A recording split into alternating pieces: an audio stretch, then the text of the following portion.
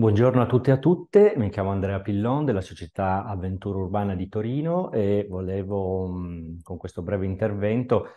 illustrarvi le novità introdotte dal nuovo codice degli appalti che riguardano appunto il dibattito pubblico, il suo avvio, svolgimento e conclusione e dire due cose sulla figura del responsabile del dibattito pubblico. Il nuovo codice non modifica le soglie dimensionali delle opere eh, delle grandi opere sottoposte obbligatoriamente al dibattito pubblico. Eh, il dibattito si apre sulla relazione, non più dossier di progetto, ma su una relazione contenente il progetto dell'opera e l'analisi di fattibilità delle alternative progettuali, relazione a cura del proponente. Per quanto riguarda i partecipanti, il nuovo codice specifica che oltre alle amministrazioni statali, gli enti locali, regionali interessati all'opera potranno partecipare i portatori di interesse diffusi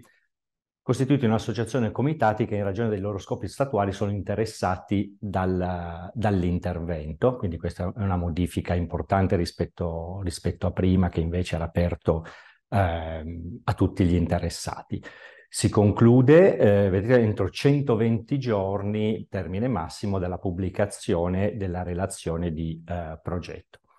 Il responsabile del dibattito pubblico un nuovo codice è selezionato dalla stazione appaltante tra i propri dipendenti e ha eh, il, la funzione, il ruolo di progettare le modalità di svolgimento del dibattito pubblico e ha un mese di tempo per fare questo, per fare questo lavoro. Questo documento si stabiliscono i temi di discussione e le modalità di partecipazione. Il nuovo codice prevede che queste siano esclusivamente attraverso strumenti informatici o telematici, a meno che non vi siano uh, degli elementi oggettivi che rendono necessaria la calendarizzazione di incontri con altre modalità.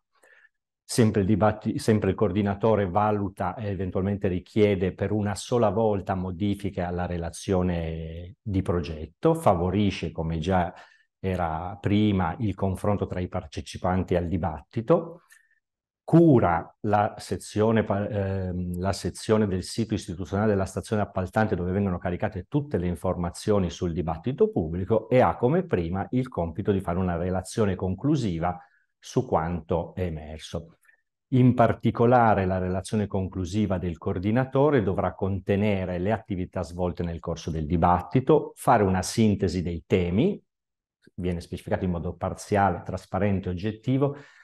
delle posizioni delle proposte che sono emerse, deve descrivere quali sono poi le eh, questioni aperte maggiormente problematiche rispetto a quale si chiede alla stazione appaltante di prendere eh, una posizione e novità sempre nella relazione finale il responsabile del dibattito pubblico potrà indicare quali, quali sono le proposte ritenute meritevoli di accoglimento.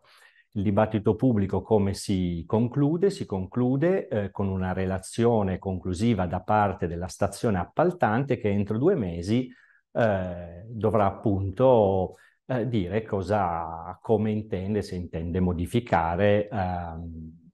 il, il progetto. Grazie e buonasera.